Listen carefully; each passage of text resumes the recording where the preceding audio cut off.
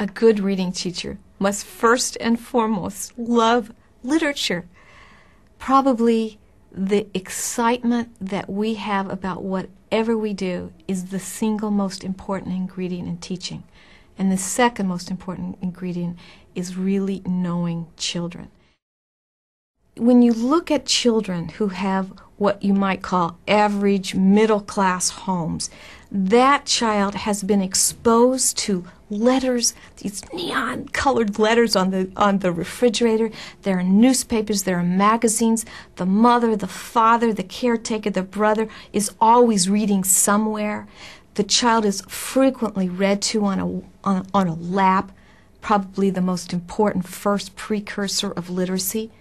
That child will have thousands of hours of literacy experiences everyday things that we never think of as literacy experiences, but that are very important when a child enters kindergarten.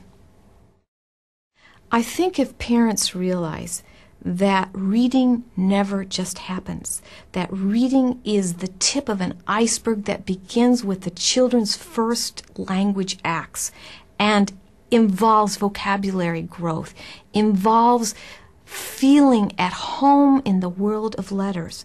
If I could get across to parents that one of the best things they could do is first read to their child, maybe 15 minutes, maybe five minutes, but every day, and to give an example of reading as part of our lives, to have that comfort level, that being at home with written words before the child ever comes into kindergarten, I think parents would realize they are truly the child's first teacher.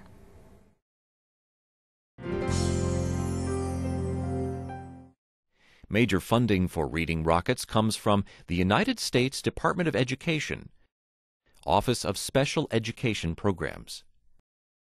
For author interviews, recommended reading lists, and information about teaching kids to read, please visit us online at www.readingrockets.org.